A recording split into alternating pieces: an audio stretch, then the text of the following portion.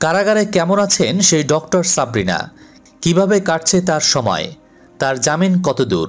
এ বিষয়ে বিস্তারিত তথ্য থাকবে আজকের এই ভিডিওতে।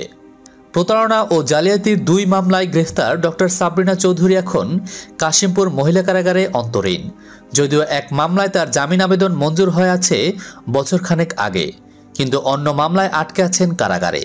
সেখানে কেমন কাটছে রাজধানীর হৃদরোগ ইনস্টিটিউটের cardiac surgeon and Zubaida health কেয়ারের চেয়ারম্যান ডক্টর সাবরিনা চৌধুরীর। তার জামিন কিংবা মামলাগুলোরই বা কী অবস্থা?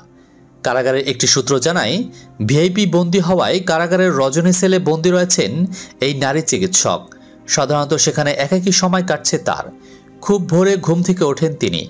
এরপর সকালে নাস্তা খেয়ে পত্রিকা পড়ে সময় কাটান। এছাড়াও কারাগারের লাইব্রেরিতে বই পড়েও সময় কাটে তার।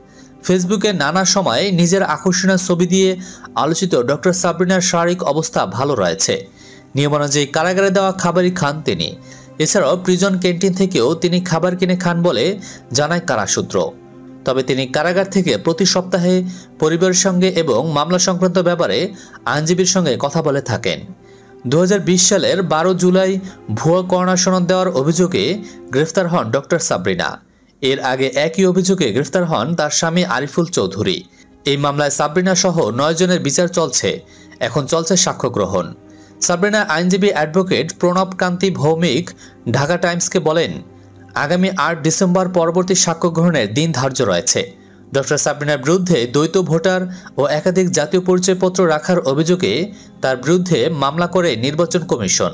এই মামলা তদন্ত এখনও শেষ করতে পারেনি পুলিশ।